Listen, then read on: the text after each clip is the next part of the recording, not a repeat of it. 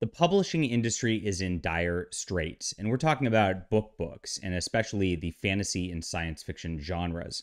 We've been warning for years that there are problems coming, and of course, there have been warning signs for years on top of this that Amazon is manipulating the system in order to, of course, create their monopoly.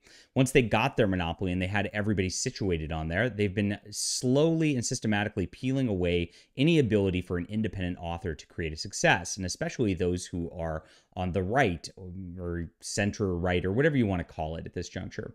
Amazon has torpedoed the market. They are an evil woke corporation beyond any other, and uh, and we've all, including myself, come to too much reliance on that evilness.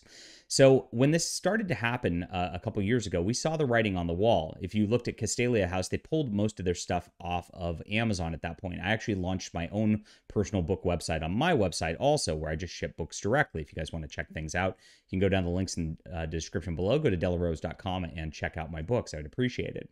But with that writing on the wall came uh, an income stream from people that were propped up by Amazon that now is completely evaporating. Now, another thing that's happened, of course, is bookstores have been closing at alarming rates over the last decade, and this has been something that's been known for a while. So, traditional pu- traditional publishers like Baen actually have had to migrate more to Ma- Amazon, have had to uh, use their system a little more, and now we're seeing the pitfalls of this as Larry Correia's Monster Hunter International's new book is absolutely failing in sales compared to what it used to be before and is causing major shakeups over at Baen Comics. Now, Larry Correia personally attacked me a couple weeks ago. I, I thought it was odd. It came out of the blue. I wasn't sure what was happening on this. It doesn't make sense. Larry and I should be on the same side of things. We are people who are fighting against the establishment, so I thought. But if you think about it, Larry is part of a big publisher. Baen Books is owned 25% by Tor Books, which is owned by Macmillan as a parent company. This is corporate. This is the people who you know publish Macmillan publish Barack Obama's memoirs, right? So these are the people who are controlling the purse strings at the end of the day. I should know that somebody like that views me as a threat to them, doesn't view me as simpatico, even if we politically align on most issues. It's very sad. But I was like, I, this is strange. It came out of the blue. Why is why am I being attacked of all times by uh, Larry and his acolytes at this point? He made a strange post about me. I mean, it was like look at it. I was it was crazy. Look at how long this is. I'm not gonna not gonna go through it in its entirety because it's ridiculous. But uh, absolutely unloaded like I'm some monster. I ba- barely interact with the guy over years. Like I, I barely know him, and I, I actually like his books. So I'm very confused as to why he would do this. Uh, but I found out, like, as this book came to release, that there's been problems at Baen Books, his publisher, over the last year.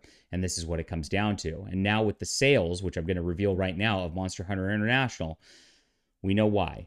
So, Baen Books, one thing that's happened over the past several months is there's been cuts to their new authors line. So, a bunch of the authors who were coming up with Baen Books got the chopping block and they just got themselves pulled from the publisher. They're gone now. And uh, they got rid of that to get rid of the fat because it, at the end of the day, books like Mon- Monster Hunter International carry the entire line. Uh, this is how publishing work. The top like 10% pay for everybody else. And actually, the bottom 90% usually lose money. Um, it's part of developing new authors and developing new talent. It's, it's like research and development for a company at the end of the day. But none of the authors Baen has picked over the last years have been really panning out out all that much. They're relying on people from before, like Larry, to carry the company. It's absolutely absurd. And uh, a lot of Larry's rant actually talks about people riding his coattails and how I attempted to ride his coattails, which is nonsense. I mean, mainly at the end of the day, I didn't attempt to ride his coattails. I did my own thing over here. That's what makes me a threat. I didn't toe the company line. I don't just say what they want. I tell the truth to you, no matter whether it's in my best interest or not.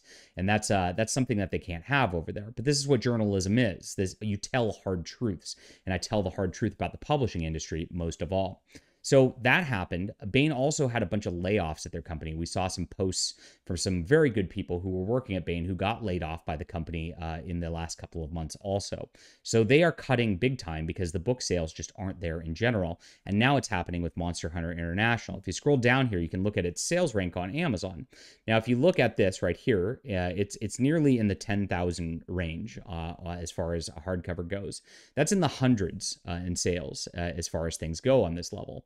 Um, and this is a level I, I was showing this when um, the super the gay Superman writer for DC Comics was going off on his ammo because you can get in one of these these categories you can get like a uh, you know gay Superman fiction, you know, written for teenage girls, you know, uh, as an audiobook uh, category, and you can get a number one bestseller in that and claim claim you're doing well. Uh, when truly, like the overall sales are what matters, and that's exactly what that guy did, Tom Taylor at DC Comics. And so uh, Larry's been doing much the same thing, declaring victory here, but the sales really are not there. Now, this is great. I would love to have these sales as an independent author around this level. Uh, when I have a book release that's about this level, which I, I've had many, um, you know, I'm I'm actually doing well. I can pay for myself at this, but with a traditional publisher, because like they have to send the book to their distributor, which then has to send it to Amazon, and he, he has to cut in the publisher, then he has to cut in his co-author, then he has to cut in his agent. Uh, you're really not making much money at the end of the day on something like this, and so it makes a lot of sense. This is why he's upset with somebody like me who's presenting an independent alternative. It's not personal at this juncture, and I'm sorry that I took it a little personal, Larry. If you do watch this video, because I know you probably will um yeah i i didn't understand that things were like this bad at baen right now and i would have been a little more um charitable and kind towards you uh, if i would have seen that. But this is another interesting thing that's happening. This caravan of the damned chuck dixon's novel and uh, this comes from Castalia House. You notice it's sold out already on Amazon. Uh, they don't have any copies left of this, but uh, this happened right here. It was it's already in the top five thousand. So these two books both released this week, and yet a Castalia House independent book uh, by Chuck Dixon. And Chuck Dixon is known for comics, not really novels uh, is outselling Monster Hunter International. This is absurd and crazy. It does go to show one thing, and there's a reason for this that the old legacy traditional publishing model is dying, that people are not following it, that they are not marketing and outreaching to new people, while us independent people, the people at Castalia House, me, uh, people in the Iron Age, Razor Fist, uh, and others are marketing towards new readers like yourself who are watching this video right now.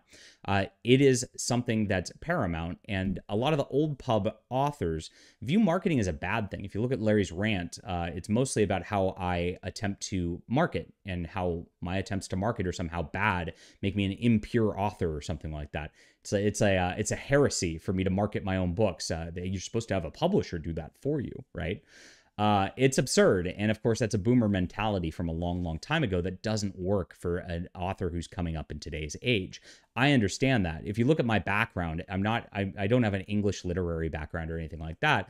I have a business background. I, I came from the Haas School of Business at UC Berkeley. I understand marketing, I understand sales more than anything else and operations.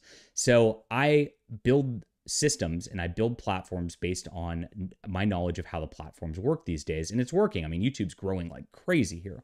Probably get some flack for this video just because I'm telling the truth uh, in regards to Larry Correia. Uh, and th- this isn't a personal attack on him or anything like that. It's just his sales are not that good. Um, and but at the same time, you come to me for the truth, and you know that I'm going to tell you that. So it's very interesting to see here. So marketing is a good thing. Independent authors out there, you need to market. You need to get yourself out there. Uh, find a niche, talk about what you love, uh, make people uh, make something that's interesting for people to want to read and see, and that's how you do things in today's age. So we'll see what happens as Baen uh, has this shakeup here. I mean, Monster Hunter is their bestseller. And Monster Hunter is what's carrying the company. So with this sales at this dismal of a level, I don't think things are going to go great for Baen in the future. They have to come up with a new model. They have to not rely on Amazon anymore, or they're going to die. Leave a comment with what you think about this, my friends. Hit the like and subscribe button. I really appreciate you being there. We'll be back soon.